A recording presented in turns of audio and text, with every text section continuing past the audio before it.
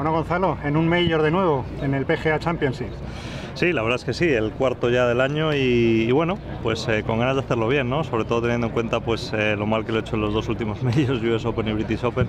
Sí es verdad que ahora con la tranquilidad de, tener la tarjeta asegurada, después de mi cuarto puesto en Canadá, pues yo creo que se, se, afronta de otra manera.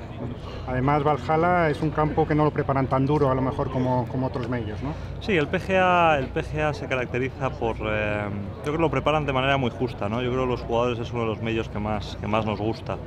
Eh, ayer jugó el campo por primera vez, los greens estaban relativamente blanditos, el RAF no excesivamente alto, los greens no muy lentos, no muy rápidos, pero bueno, yo creo que todo se irá endureciendo a lo largo, a lo largo que avanza la semana, sobre todo si nos respeta el, tiempo y no hay muchas tormentas y no llueve, yo creo que para el domingo va a estar jugando el campo pues obviamente de manera diferente a como está hoy.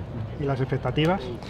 Las expectativas, eh, bueno, pues yo creo que mm, en vista de cómo he jugado los últimos medios, yo creo que un buen objetivo podría ser pues empezar primero por pasar el corte, y luego a partir de ahí pues eh, a ver qué ocurre el fin de semana. Es verdad que llevo un buen tute de torneos, esta es mi sexta semana consecutiva y bueno, pues el, cansancio afecta.